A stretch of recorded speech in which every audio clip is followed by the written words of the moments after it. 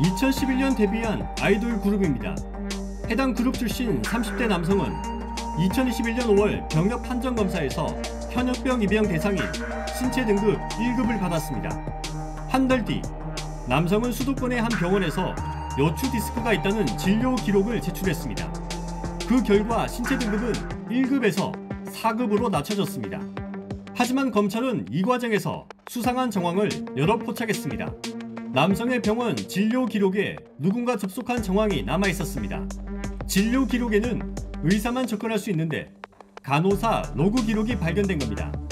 병역 검사 당시 남성이 제출한 MRI 영상 등에 대해 두 차례 영상 판독을 거쳐 요추 디스크가 없었다는 점도 확인했습니다. 당초 이 사건은 경찰이 수사했다가 증거 부족을 이유로 지난 2월 불송치했습니다. 그런데 검찰이 남성의 모친과 간호사가 엮인 보험 사기를 수사하다 전말이 드러났습니다. 검찰은 남성 모친의 부탁을 받은 간호사가 병원 전산망에 접속해 진료 기록을 위조한 것으로 보고 있습니다. 현역 안 갈 수 있는 방법이 뭐 있느냐 등 이들이 나눈 의심스러운 통화 내용도 확보했습니다.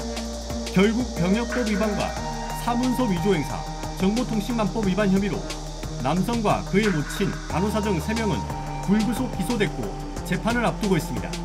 앞서 남성의 모친과 간호사는 보험 사기 혐의로 기소돼 재판 중입니다. 남성은 당시 제출한 요추디스크 진단으로 사급 판정을 받고 사회 복무 요원으로 군복무를 마친 상태입니다.